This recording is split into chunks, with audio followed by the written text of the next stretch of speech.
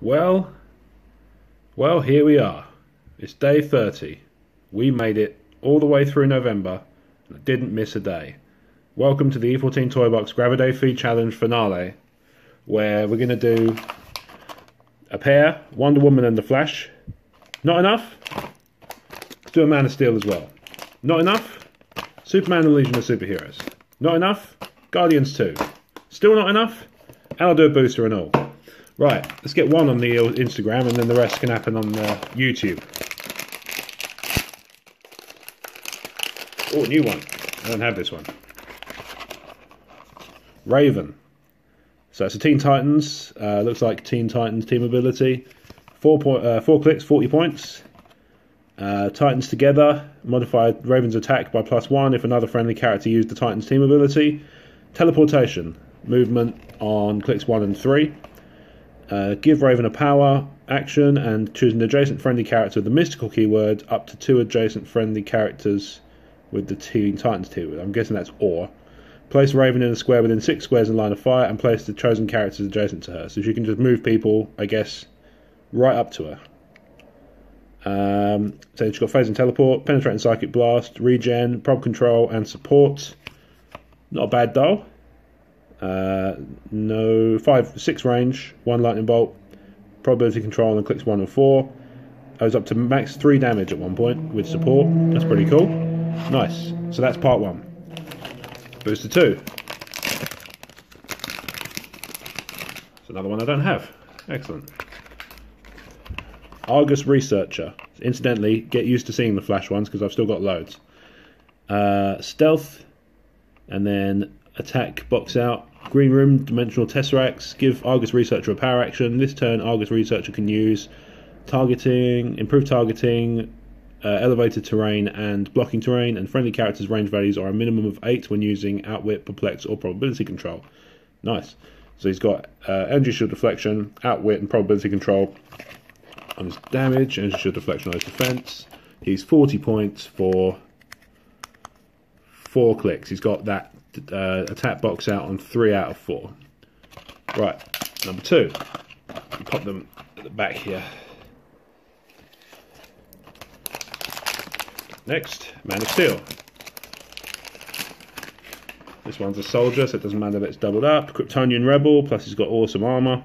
The regime must fall. Kryptonian Rebel, uh, Rebel targets a character with a Kryptonian keyword and a higher point value with an attack. He can use willpower and modifies his attack by plus one this turn. Uh, movement, running shot, and leap climb. Energy explosion on his attack. Toughness and combat reflexes. And close combat expert on his damage. Uh, 50 points for a stiff dial. Uh, five clicks. So 10 points per click. Not too bad. Couple of those probably combine quite well together. Next. Guardians of the Galaxy Volume 2. Uh, Ravager. Pirate's Life for me. During force construction, you may pay 20 points for this character. If you do, at the start, beginning of the game, choose a starting line. Uh, during force construction, you may pay 10 points each for up to four of this character. If you do, at the beginning of the game, an opponent must choose a distinct starting line for each one. So that's these starting lines here. So you've got four different, four different uh, dials. Three, po- three, two clicks each, 20 points or 10. Uh, okay. And then taking prisoners when Ravager hits with an attack. After action is resolved, give the hit character an action token. He's got running shot, charge, and sidestep, and leap climb across his four different abilities. Energy explosion, blades claws, poison, and his attack box out across the other attacks. Support, battle fury, enhancement, and empower across his damage, and no defense powers of which to speak. Four.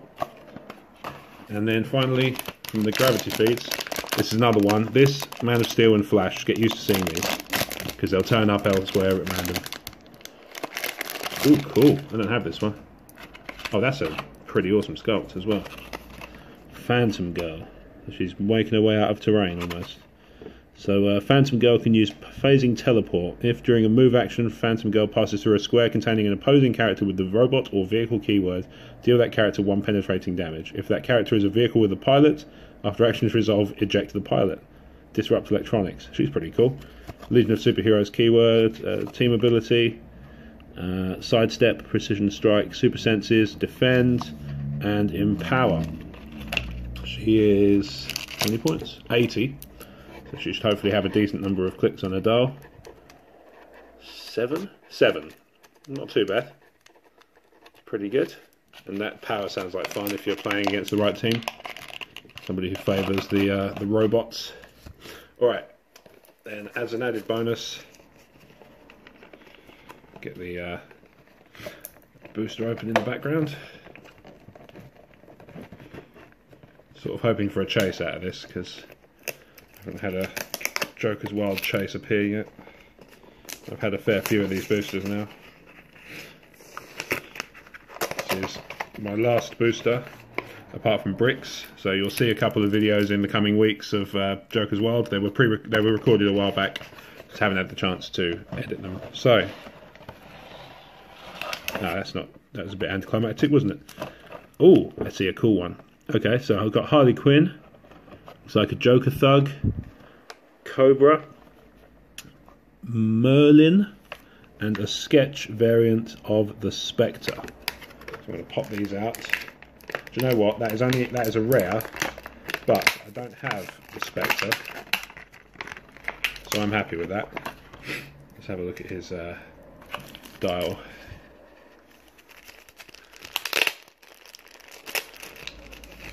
So he's four clicks for 40 points.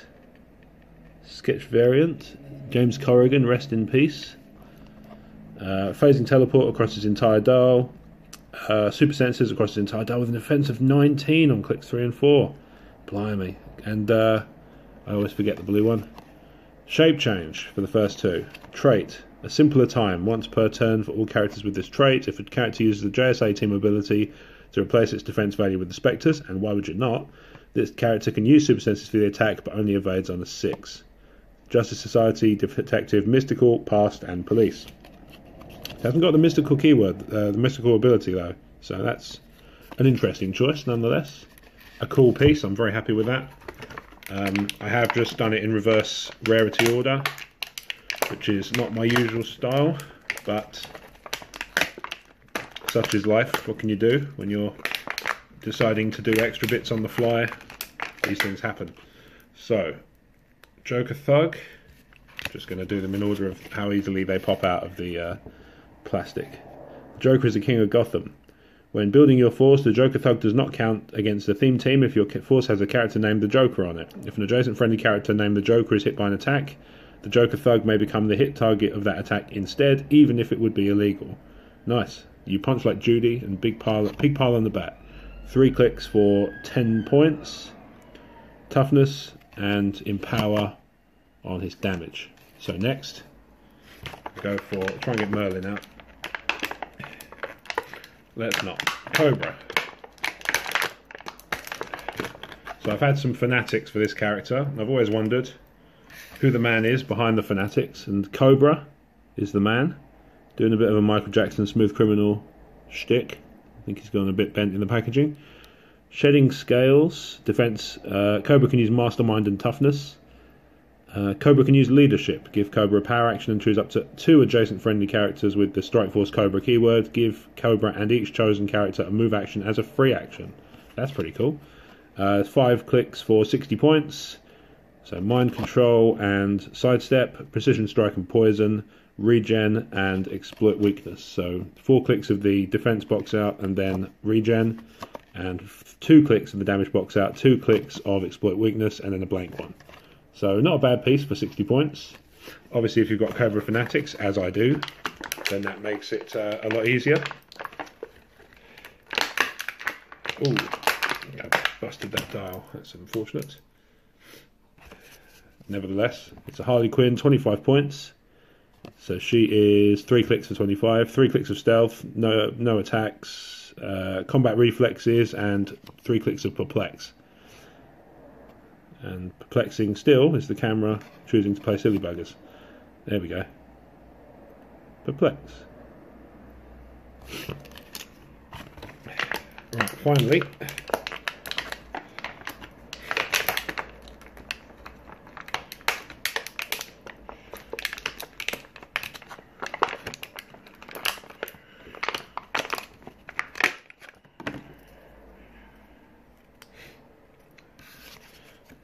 Merlyn. So he's got a bit of a Hawkeye meets Wolverine kind of vibe going, looks wise.